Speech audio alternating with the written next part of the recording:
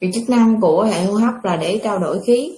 Vì các cơ quan hô hấp bao gồm các lồng ngực, cơ hô hấp, màng phổi, đường dẫn khí và phổi và hệ thần kinh. Thì đường dẫn khí chúng ta chia làm hai phần, đường dẫn khí trên và đường dẫn khí dưới à, và ngăn cách bởi thanh quản bệnh lý đường hô hấp là những nguyên nhân thường gặp ở trẻ em đây là những nguyên nhân mà thường hay nhập viện tỷ lệ tử vong rất cao do viêm phổi cơ quan hô hấp của trẻ những bộ phận đó chưa phát triển hoàn chỉnh. Ở mũi thì nó nhỏ ngắn và niêm mạc có rất là nhiều mạch máu.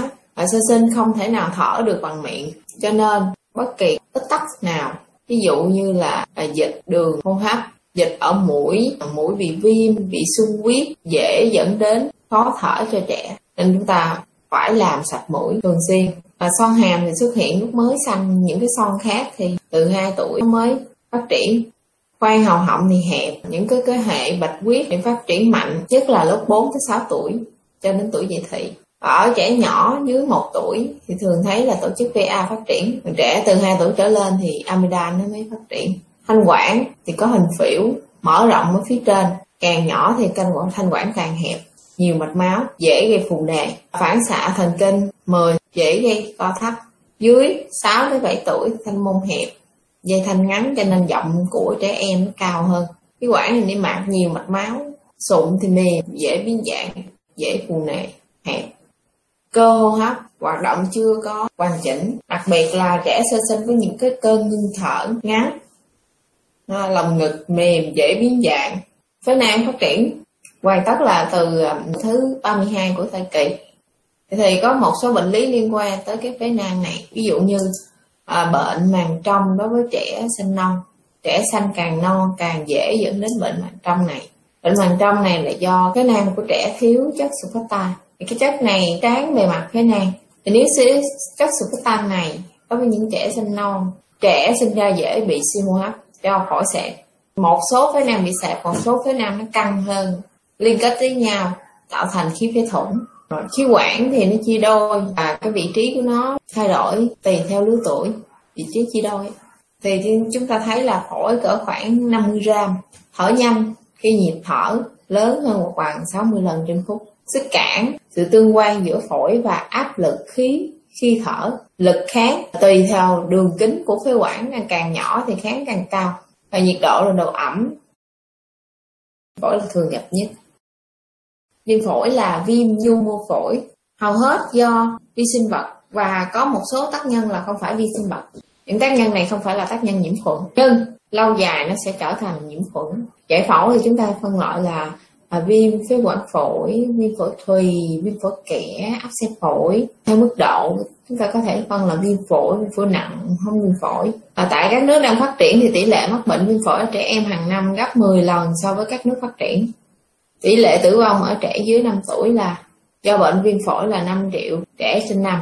Và ở tại Việt Nam, theo nghiên cứu, có thấy tỷ lệ tử vong do viêm phổi chiếm 33% tổng số tử vong cho mọi nguyên nhân. Và tỷ lệ nhập viện rất là cao, đứng thứ hai sau tiêu chảy. Virus là nguyên nhân ưu thế nhất, có thể lây do tiếp xúc trực tiếp hoặc là qua các cái hạt tiết qua đường hô hấp. Để thường gặp là virus hợp bào hô hấp, cúm, á cúm, những cái loại virus khác nguyên nhân do vi khuẩn. Thì tùy theo lứa tuổi. Ở đối với sơ sinh thì chúng ta thấy là thường là liên cầu khuẩn nhiễm B trực khuẩn đường ruột răm âm. Một tới năm tuổi là cái lứa tuổi mà đi học cho nhân lên thường nhiễm những cái vi khuẩn không điển hình. Như Scolasma hay là Vidia thì bản thân của đường hô hấp của chúng ta là có cái cơ quan bảo vệ. Ngoài những cái kháng thể IgA, IgG, đại thực bào, bạch cầu đa nhân cái lớp lâm chuyển cũng có cái nhiệm vụ tống những cái vật lạ đi ra ngoài. Và mình có hai cái phản xạ. Đóng nắp thanh môn. Cái nắp này nó đóng lại, không để cho đồ ăn rơi vào đường hô hấp. Các em phải biết ho là một phản xạ bảo vệ cơ thể. Cho nên, chúng ta cho điều trị thuốc ho không đúng cách. Là vô tình chúng ta để cái, những cái vật lạ nó còn trong cơ thể. Nó không được tống ra ngoài.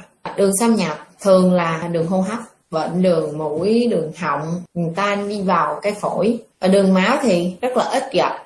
Ví dụ như nhiễm trùng ngoài da hoặc nhiễm trùng huyết, nó đi đến nhiễm trùng phổi thì gặp hơn.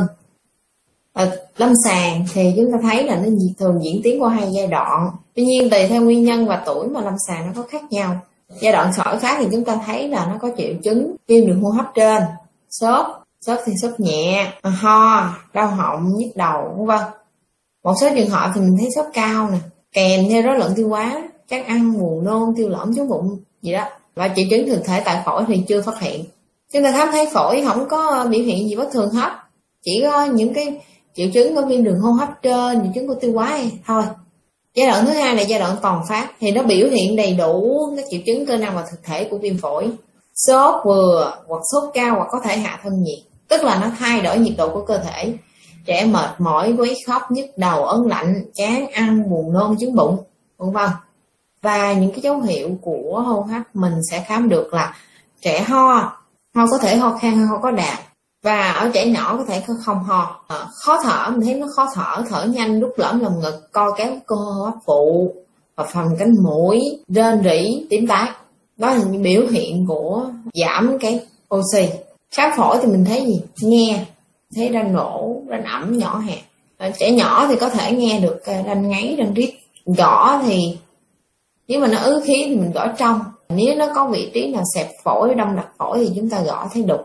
Và cái ran nổ là cái ran đặc trưng của viêm phổi. Xét nghiệm máu. Nếu tác nhân là virus và bạch cầu thường bình thường hoặc là tăng nhẹ thôi. Còn tác nhân vi khuẩn mình thấy là bạch cầu tăng nhiều. Ưu thế là đa nhân trung tính. Và có thể kèm theo cái mặt cơ viêm.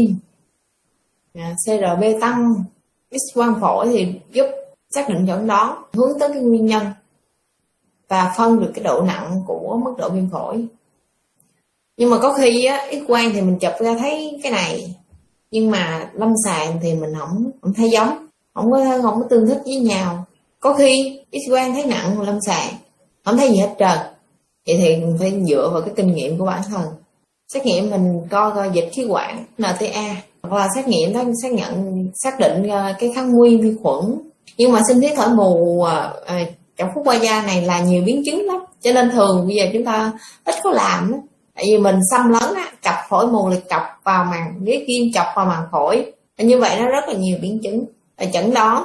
Khi có các triệu chứng như là ho sốt thở nhanh suy hô hấp nghe phổi có đanh nổ thì chúng ta có thể chẩn đoán viêm phổi. Trẻ thở nhanh theo MCI, nếu mà trẻ thở nhanh thì được phân độ là viêm phổi. À, vậy ít nhất của em cũng phải biết được thở nhanh là như thế nào. Dưới 2 tháng trên lớn hơn một bằng 60 lần trên phút là thở nhanh. Từ 2 tháng tới 12 tháng lớn hơn bằng 50 lần trên phút là thở nhanh. Từ 12 tháng tới 5 tuổi lớn hơn hoặc bằng 40 lần trên phút gọi là thở nhanh. Và trên 5 tuổi là lớn hơn hoặc bằng 30 lần trên phút rất là nhạy để chẩn đoán viêm phổi nếu mình ở tuyến cơ sở thì mình dựa vào những cái chương trình ví dụ như là chương trình nhiễm khuẩn hô hấp cấp tính à, lòng xử lý lồng ghép các bệnh trẻ em. ARI là nhiễm khuẩn hô hấp cấp tính. Còn AMCI là xử lý lồng ghép các bệnh thường gặp ở trẻ em. Ở tại tuyến quyện tuyến tỉnh có thể chúng ta khám được lâm sàng chúng ta chỉ định được cái cái xét nghiệm để tìm nguyên nhân. Và các thể lâm sàng thường gặp ví dụ như viêm phổi do virus thì chúng ta thấy gặp nhiều tỷ lệ mắc bệnh cao à, cao nhất trong hai năm đầu. Và viêm phổi do phế cầu là nguyên nhân thường gặp nhất của viêm phổi cộng đồng. Số tuổi là 13 tới 18 tháng tuổi tuổi nhỏ ha. Viêm phổi do HI là trực khuẩn gram âm thường xảy ra ở trẻ dưới 4 tuổi thường vào mùa đông và mùa xuân. Phổi do tụ cầu tụ cầu thì ít gặp hơn phế cầu và HI nhưng mà gặp thì thường nó nặng. Viêm phổi do mycoplasma đây là vi khuẩn dạng sợi Ờ, à, sợi chỉ mảnh không có thành tế bào cho nên sử dụng kháng sinh beta lactam thì nó không có đáp ứng gì hết á. Và một đầu nó sẽ gắn cho tế bào nó hút chất dinh dưỡng. Đây là nguyên nhân gây viêm phổi ở lứa tuổi học đường từ 5 tới 15 tuổi lây qua các giọt chất tiết lớn ở thời gian ủ bệnh 1 tới 3 tuần. Biến chứng của viêm phổi là gì? Áp xe tràn dịch viêm mũ viêm màng ngoài tim nhiễm khuẩn huyết. Còn vấn đề não khớp xương thì đây là biến chứng ít gặp cách điều trị chúng ta điều trị siêu hấp chống nhiễm trùng. Nếu mà biết được tác nhân chống nhiễm trùng đúng cái kháng sinh của cái tác nhân đó điều trị các rối loạn đi kèm những cái biến chứng phòng ngừa bảo vệ sức khỏe bà mẹ. Khi có thai khám thai định kỳ vệ sinh môi trường dinh dưỡng đúng tiêm chủng đầy đủ phát hiện xử lý kịp thời và cách ly trẻ với những cái trẻ bệnh hoặc là người bệnh. À, dự phòng bốn cấp ha loại trừ ngăn chặn yếu tố nguy cơ, nâng cao cái thể lực, hạn chế tiếp xúc yếu tố nguy cơ, phát hiện điều trị kịp thời và khắc phục những cái biến chứng di chứng.